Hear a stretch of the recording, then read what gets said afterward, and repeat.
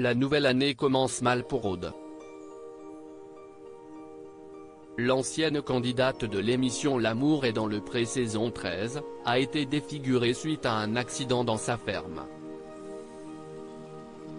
Le 1er janvier 2021, la jeune femme est apparue avec le visage gonflé et une énorme blessure au niveau du front.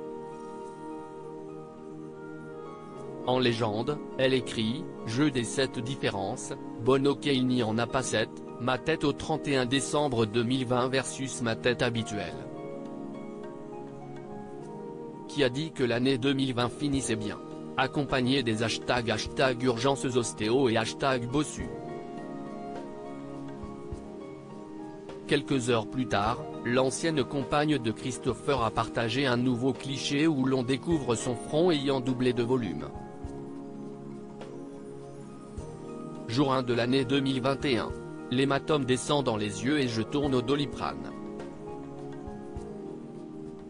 L'année commence bien écrit la maman de Louane et de Raphaël avant d'ajouter le seul avantage est que mes rides du front ont disparu.